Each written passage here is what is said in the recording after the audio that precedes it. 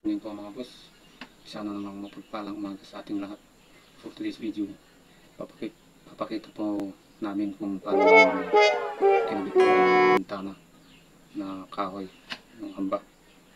At paano namin ginawa mga boss. At sana mapanood dito at huwag kalimutang mag-subscribe, mag-like and mag-comment below. At huwag din kalimutan mag-pindutin yung notification bell all para updated po kayo sa susunod kong video. Cut muna tayo mga boss.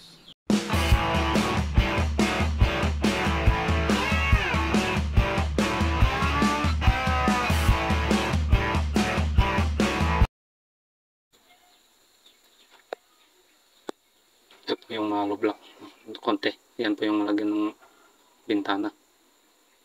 Wow. Kailangan po mga boss lagyan ng dowels.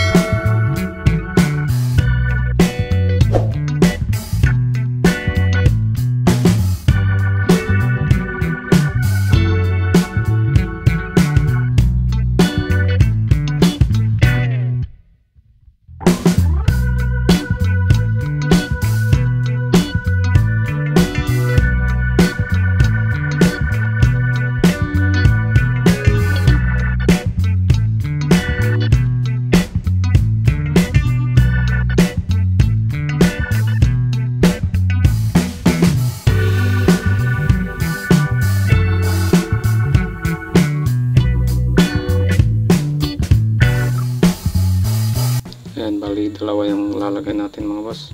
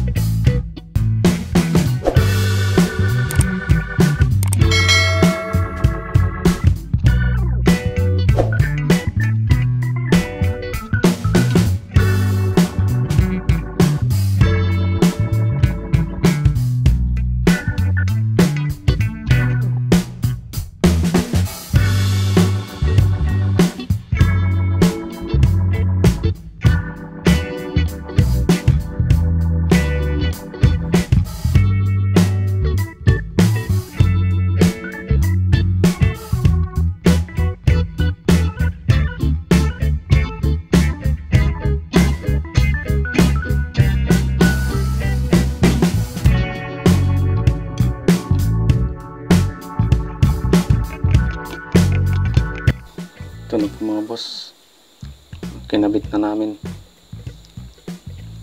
Kailangan naka- naka-levelado yan.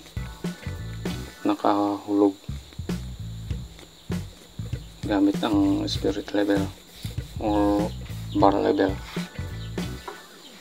At saka yung plumb bob.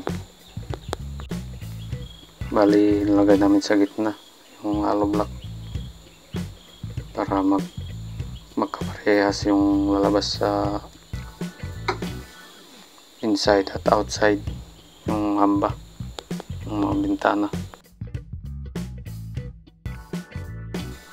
Yan mga boss level namin gamit ng bar level para pantay. Kung okay na pwede nang itali sa nakabang na dowels at saka yung pako sa hamba ayan mga boss. Ganyan rin sa kabila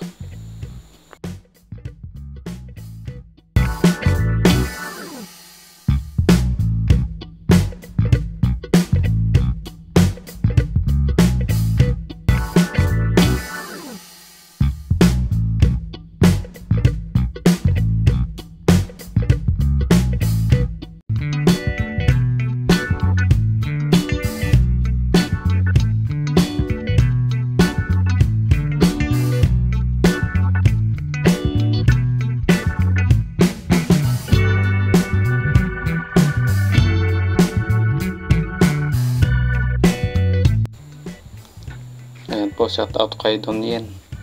Ayan, pogi kong kasama.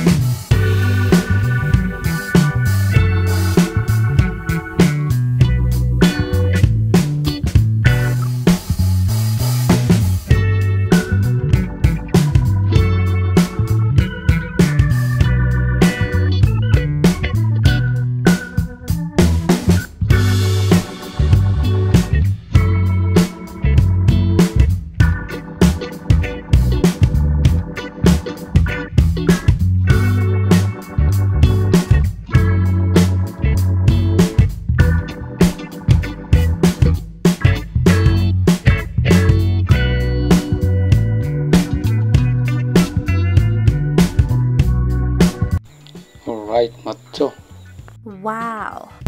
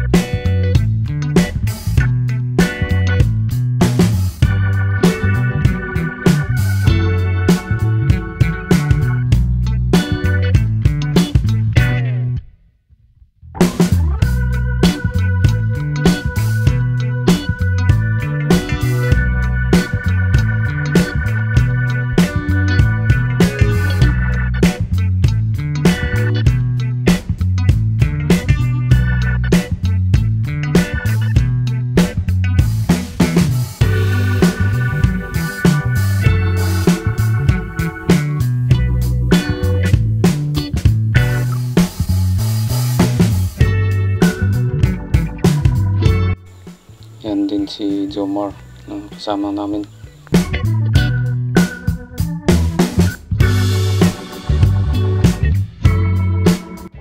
Ito rin yung lababo na pagawa nila. Saglit nating tapusin. Kailangan lagyan natin ng bakal. Kaya i-drill natin sa walling ng abang.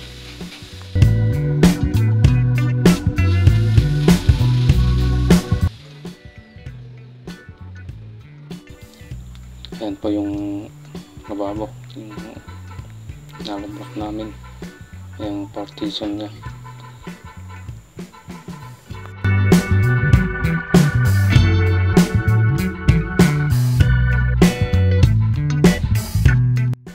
Ayan na po natapos na.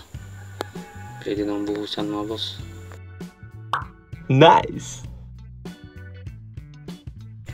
Yan, natapos nang nabuhusan. Guys, tiles na lang ang susunod.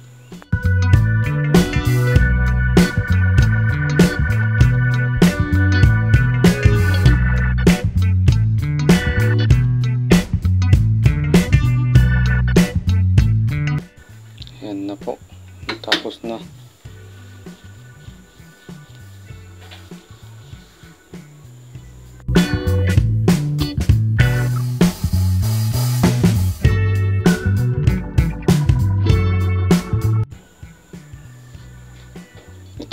Boss ang hindi pa. Pero tatapusin namin mamaya mga boss.